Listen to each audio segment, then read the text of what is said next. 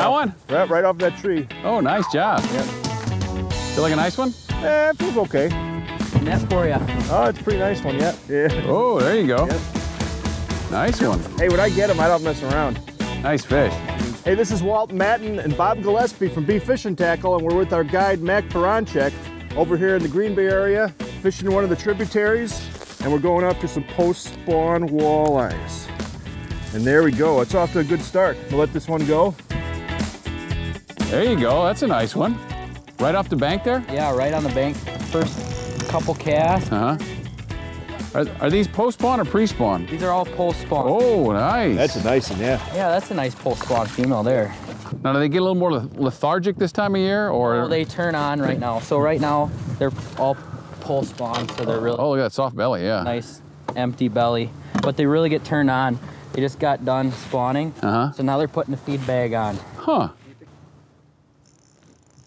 There's another one. Look at that. He's got the color. So, so what you're saying is after they're spawning, they actually turn on instead of having lockjaw. Yes, they do. They're they just got done with their job, Uh-huh. getting the new babies coming, and now they're turning on the feed bag, trying to get that weight back on them. So now, do you think this is another post-spawn female? Yes, it is. Yeah. You're not kidding when you say like barely move that bait right off the bottom. You can barely move that bait, just really slow little hops, and they just they crack it. Yeah, this one Eat it. cracked it. Not only that, but after your fish with that uh, oyster shell, I switched up colors to an oyster shell pulsar. There you go. Yep. Oh yeah, that's what we're looking for. With a purple hair jig. Yeah. little double combo there. The hair jig, yeah, that's been around forever, but it's Oh, yeah. really making a comeback, not only in the walleye scene, but also in the bass market. Right. It's a little bit of hair in there, a little bit of added color, and still we've got, we put them on these H2O heads, so we've still got the weight of the jig stamped right on there, so that you know you're using a 5 8 ounce jig. All right. All right, so I better let her go. Yep. Whoa, there you go. Thank you. What you got, Bob? What you got, Bob? Got a nice, nice one. Keep the pressure on. I don't know how big it is. Ooh, it's a nice one. Got a little darker, Walt, so I put on the new uh, glow, uh, night glow on. Nice.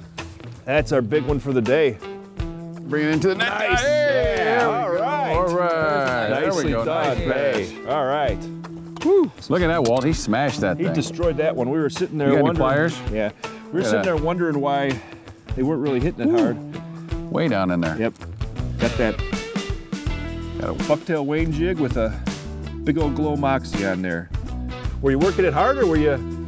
No, I just just slow bouncing it off the bottom.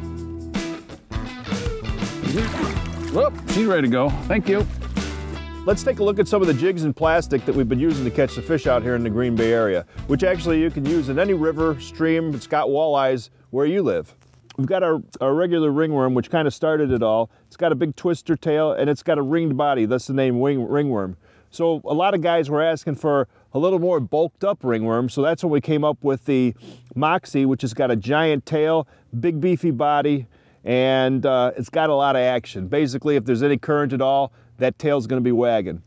Then we've got the Pulsar, which is which is a great bait also. A little bit different action because it's got a high-speed paddle tail, which also really vibrates in, in a little bit of current. Then we've got for a little bit more timid fish, let's just say, a little fork-tail version of, of this called the rib fin. So we've got three different styles for aggressive, less aggressive, and, and least aggressive fish. But plus we've got the ringworm. We load them up on our H2O jig heads. They're nice. They've got the weight stamped right on the bottom. We've also been using the bucktail Wayne jigs, which is used, it has the H2O head with a bucktail body. Those you can dress with plastic or you can just fish them as is.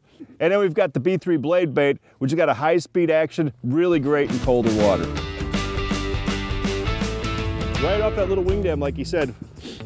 What's nice when you hire a guide like Max, if you could actually make a cast, like luckily I could, he tells you exactly where to make them because he's, I mean, we've been, he's been out here fishing for most of his young life. Look at There we that. That's the same one? It's the same one, yeah. There you go. There's All your right. fish there. Nice. Nice, one. Another one on the rib fin. There you go. Yep. That's a female. Yeah. Huh. Nice fish. All right. I'll let you let him go since you got uh, slimy hands.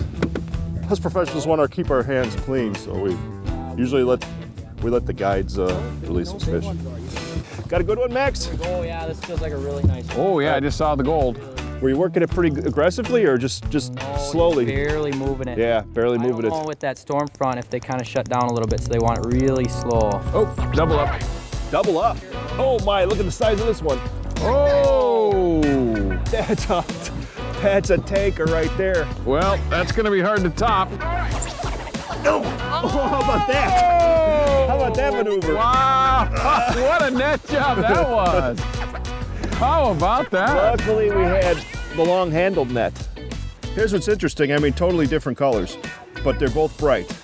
We got a glow, and then we've got a chartreuse pepper, purple head. So Hey, I'd say with, with two fine fish like this and well, and a great net job Of to boot, I think that's a good way to end the day, huh? Yep, we couldn't have done it without me. So, hey, want to fish this area for some big walleye, smallmouth bass? AlexanderSportFishing.com. And also on the web, check us out, beefishandtackle.com. Until next time, this is Walt and Bob with our new buddy Max. Midwest Outdoors will be right back.